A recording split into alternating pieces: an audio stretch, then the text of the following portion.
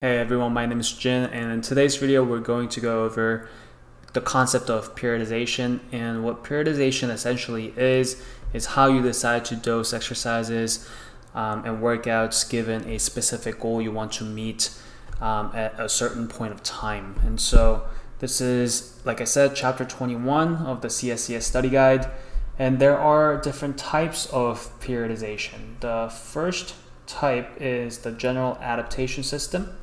And so it's really divided into three phases here, the alarm phase, the resistance phase, and the supercompensation phase. And so if you take a look here, you start by introducing some kind of stressor, right? And that's training and other stressors. So that's where you start and then the alarm phase is the initial phase of training where stimulus is first recognized. And because of that, um, the performance generally tends to decrease in response to fatigue, right? So this is the baseline here. And this is before you start. And this is the start right here. And so performance generally decreases and then it can either go back up with the resistance phase and this is the second phase and that's when adaptations happen and system is returned to baseline or if you fail to adapt you can go into the overtraining phase. And that's when stressors are too high and performance can be farther suppressed. So resistance phase is the second phase and that's when adaptation occurs. And now you've achieved the supercompensation phase which is the new level of performance um, capacity that occurs in response to adaptive responses found in step two. And so that's one way to look at um, periodization, the general adaptation system. And then you have the stimulus, fatigue, recovery, adaptation theory. It's basically saying the same thing, really. But let's take a look here. Training stimulus, you start here. And then with fatigue and acute response when you first start, the performance level is going to dip, right? It dips and dips. And with recovery, now it's going to return to baseline. And the idea is some kind of adaptation happens between here and here. So that gives you a little bit of a boost with overcompensation, or as we've seen in the previous uh, graph, it's super compensation, kind of goes hand in hand and so your performance level increases over baseline, right? And then with detraining, the preparedness and performance tends to decrease. There's also fitness fatigue paradigm. So taking a look at this graph here, um, it's easy to follow preparedness really, and preparedness goes hand in hand with performance. So when you initially start, preparedness is down here. And because, whoops, because fitness is elevated, but the cumulative fatigue happens here as well, the preparedness kind of goes up slightly, but it still maintains below zero because of the overall fatigue. But as you see, the overall fatigue is going to go close to zero here and that's gonna give the preparedness or performance a little bit of a boost, right? Preparedness is optimized as fatigue dissipates at a faster rate than fitness. And fitness is here, as you can see. So this is the most optimum level of preparedness, optimal level of preparedness, sorry, as fatigue nears zero. Um, couple important uh, concepts here in periodization cycle. So let's go over this. Um, multi-year plan, you're thinking two to four years of training. Annual training plan, annual one year. Macro cycle, mesocycle, and microcycle, right? So you have macro cycle several months to a year, right? So it's easier to take a look at this macrocycle is made up of a couple different mesocycles and mesocycle is made up of a couple different microcycles right so I'll write it here as well Macrocycle is several months to one year. Mesocycle is two to three, uh, two to six weeks, rather. Sorry. So a month, give or take, right? And then you have microcycle, microcycle, which is several days to two weeks. So I'm gonna write two weeks. Okay. And then there are training days. So these are just days that make up weeks, right? So you got training day, and then training session is even shorter than that, and that's usually several hours. So important to know um, these cycles and how long they take usually. And this next graph, take a look at different phases at the bottom, right? Preparation phase, first transition phase, competition phase comes after, and then there's the second transition phase. Um, we're going to come back to this graph because what I want to do is define these phases first. That would make it a little more easy to comprehend the graph. And so there's four phases like we talked about earlier, preparation, first transition, competition, and second transition. So going back to this uh, slide here, preparatory phase is before the competition starts. So there's no competition um, and you tend to limit the technical and tactical work or sports spe specific work at this phase because you're looking for more of a general approach to build that foundation, right? So general goes uh, tends to happen first. So general targets development of general, like I said, physical base, and then you move on to more specific exercises and movement patterns um, because there's a shift in training focus, and this happens only after the general preparatory phase. And then you get the hypertrophy, strength, endurance phase, where it's a little bit of a low or moderate training intensity, but with a high volume because what you're trying to do here is achieve hypertrophy and strength endurance. And then you get the basic strength phase, and this is more of a heavier load at a lower training volume. And this is specific to the muscles or movement patterns that the athlete requires for their sport.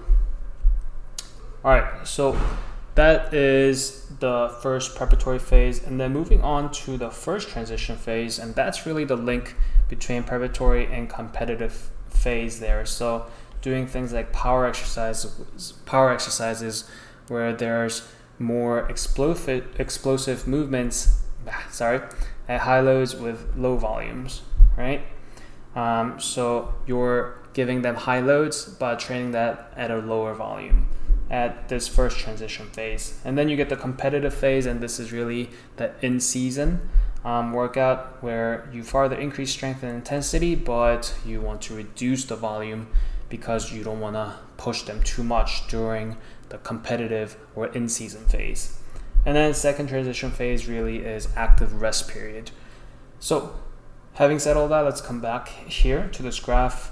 Generally speaking, in the preparation phase, technique, the quality isn't going to be at the highest, right? Because it's more focused on high volume and general um, exercises and then once we move into that first transition phase, you can see the technique getting a little bit more of an attention. And then, of course, the volume is going to decrease because now you want to really uh, focus on your craft and the technique. And then at this competition phase is where you want the focus on technique to peak, right? Because that's when it matters the most. And then of course with the volume it's going to decrease because you can't have both volume and technique. They don't go hand in hand. So you're more focused on certain things rather that's specific to your sport. So volume is going to go down. And then like we talked about in second transition phase, this is active rest period um, or um, off season phase, right? here volume decreases and it's at its lowest, and then um, the athlete focuses on recovery. So, going to this slide here now, um, there's different ways to phrase, uh, different ways to categorize these phrases and split up annual training plan, but they all really mean the same thing. So we just talked about preparatory period, which is more of a general um, period, and then you have the competition period, more specific, and then transition period. So you can split up preparatory period into transition phase and preparatory phase. Competition is still competition.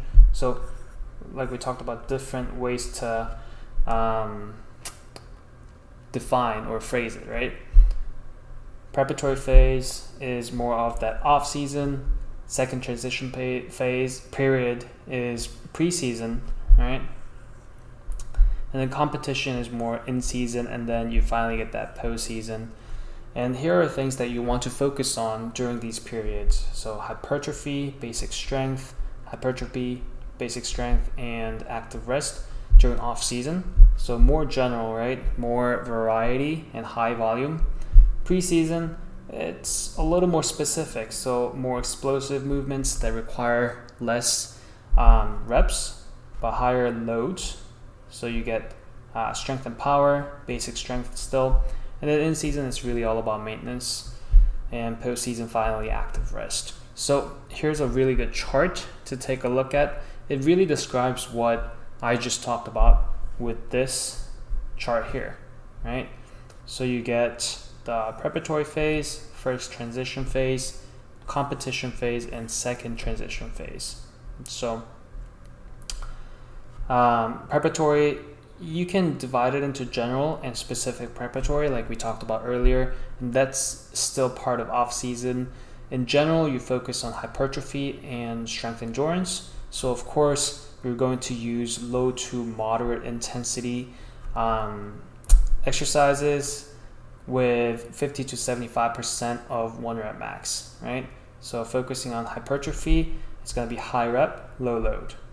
Now, with specific preparatory, now you start to get a little more focused on what you truly need for the sport. And so basic strength comes into play, high intensity, at about 80 to 95% of one rep max. And then you're doing moderate to high volume to build that strength. And moving on to the preseason, and we're nearing the competition phase here, we're focusing on strength and power. And so it's to be low, it's to vary, right? Low if you're doing 30 to 85% of one rep max, or very high if you're doing 87 to 95% of one rep max. Um, so low volume generally speaking, because we're doing two to five sets of two to five reps. So that's preseason. Now going into competition, there's two different ways to look at it. You want to either focus on peaking or maintenance. If you're doing peaking, again, this varies a lot, very high to very low, depending on the needs of the athlete and so it's going to be very low, very low volume here if you're deciding to go with low. And then if you're doing maintenance work, you want to do moderate to high because you want to keep the momentum going. And so you want to do two to five sets of three to six uh, reps, right? Second transition phase, um, it's post-competitive um, phase, so it's postseason and you focus more on active rest. So there's one more uh, concept we need to talk about, undulating versus linear periodization. Linear periodization is more of a traditional approach where you use same numbers, the same number of sets and reps across training days, but you vary the load versus in the undulating periodization model, that's more of a non-linear model. It involves daily fluctuations in the load and volume assigned volume of assigned core resistance training exercises. So here's an example. On Tuesday, you focus on strength, which you probably want to do four sets of six rep max, right? And then hypertrophy a little higher um, load with 10 rep, uh, sorry, a little low of a load with 10 rep max. And that's gonna have you focus on hypertrophy And then Saturday, for example, you focus on power, and that's gonna be a heavier uh, set or working set. So um, that is it for today. I hope that all made sense. If you guys have any questions, please let me know in the comment section below, and I will see you guys on chapter 22.